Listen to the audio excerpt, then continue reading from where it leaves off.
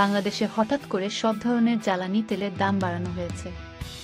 Diesel ও কেরোসিনের দাম চার, দুই, পাঁচ বেড়ে হয়েছে প্রতি লিটার এক এক, চার টাকা। পেট্রোলের দাম পাঁচ, এক এক, ছয় বেড়ে প্রতি লিটারের দাম হয়েছে এক, তিন, শূন্য টাকা।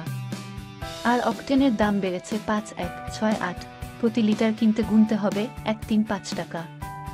গতকাল শুক্রবার, মধ্যরাতের পর থেকেই নতুন এ দাম কার্যকর হয়েছে বলে জ্বালানি ও খনিজ সম্পদ মন্ত্রণালয়ের এক প্রজ্ঞাপনে জানানো হয়েছে। ভোক্তা পর্যায়ে লিটার প্রতি ডিজেল এক এক চার টাকা, কেরোসিন এক এক চার টাকা, অকটেন এক তিন পাঁচ টাকা এবং পেট্রোলের দাম এক তিন শূন্য টাকা নির্ধারণ করেছে জ্বালানি ও খনিজ সম্পদ বিভাগ। রাত এক শূন্যটায় জ্বালানি ও খনিজ সম্পদ মন্ত্রণালয়ের উপপ্রধান তথ্য অফিসার মীর মোহাম্মদ আসলাম উদ্দিন কর্তৃক পাঠানো এক সংবাদ বিজ্ঞপ্তিতে বলা হয়।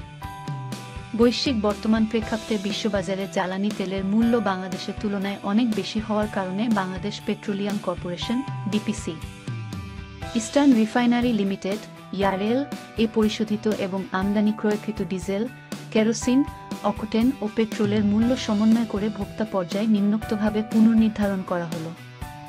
বিবৃতিতে আরও বলা হয়, বাংলাদেশ পেট্রোলিয়াম কর্পোরেশন বিগত ছয় মাসে দুই দুই ফেব্রুয়ারি থেকে জুলাই পর্যন্ত জ্বালানি তেল বিক্রিতে সব পণ্য আট শূন্য এক চার পাঁচ এক কোটি টাকা লোকসান দিয়েছে। বর্তমানে আন্তর্জাতিক তেলের বাজার পরিস্থিতির কারণে বিপিসির আমদানি কার্যক্রম স্বাভাবিক রাখাতে যৌক্তিক মূল্য সমন্বয় অপরিহার্য হয়ে পড়েছে। এদিকে বিদ্যুৎ, জ্বালানি ও খনিজ সম্পদ প্রতিমন্ত্রী নসরুল হামিদ বলেছেন, জনবান্ধব আওয়ামী লীগ সরকার সব সময় আমজনতার স্বস্তি ও স্বাচ্ছন্দ্য বিবেচনা করে সিদ্ধান্ত নেয়।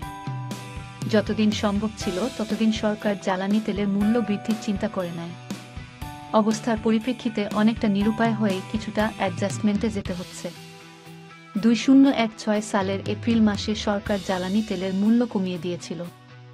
পরিস্থিতি স্বাভাবিক হলে সে অনুযায়ী জ্বালানি তেলের মূল্য পুনরায় বিবেচনা করা হবে। এদিকে, গণমাধ্যমে তেলের দাম বাড়ার খবর আসার সাথে সাথে ভিড় লেগে যায় রাজধানীর ফিলিং স্টেশনগুলোতে।